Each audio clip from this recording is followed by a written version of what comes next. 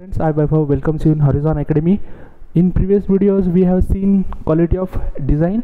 After that, in next video, we have seen quality of conformance.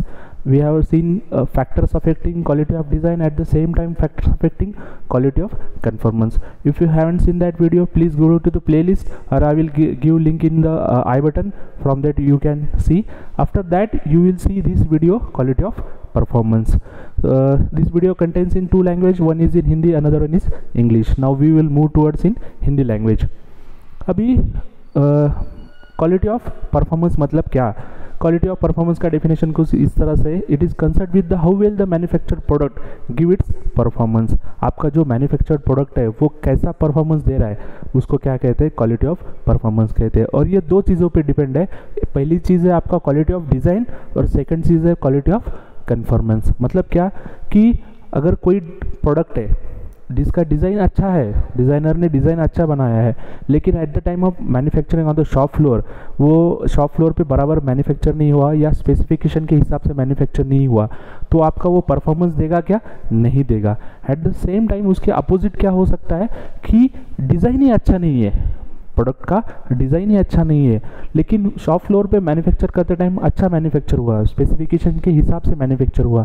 फिर भी वो आपका परफॉर्मेंस देगा नहीं ये टोटल ऐसा वीडियो था ये वीडियो अगर आपको अच्छा लगता है तो प्लीज़ लाइक शेयर सब्सक्राइब और कमेंट करना मत भूलिए कमेंट से मुझे थोड़ा सा और मोटिवेशन मिलता है अच्छे वीडियो बनाने के लिए now shift to the in English language hello friends in previous videos we have seen quality of design quality of conformance and factors affecting quality of design and quality of performance please go to the playlist and see that video then move towards this video okay now quality of performance. Definition of quality of performance is that it is it is concerned with how well the manufactured product give its performance. Uh, after that it depends upon two factors. One is quality of design another one is your quality of conformance.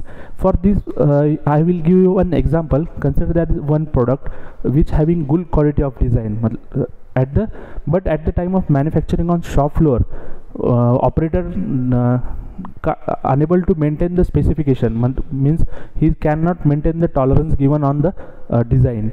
So what happened? It won't give your best performance. Okay at the same time in opposite if design is wrong designer make a wrong design uh, and uh, approve and uh, flow out this uh, and give this drawing to operator for manufacturing of job what happened on shop floor operator manufacturer job according to that design.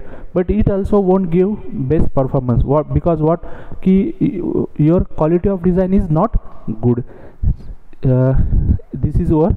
If you like this video please share subscribe. Thank you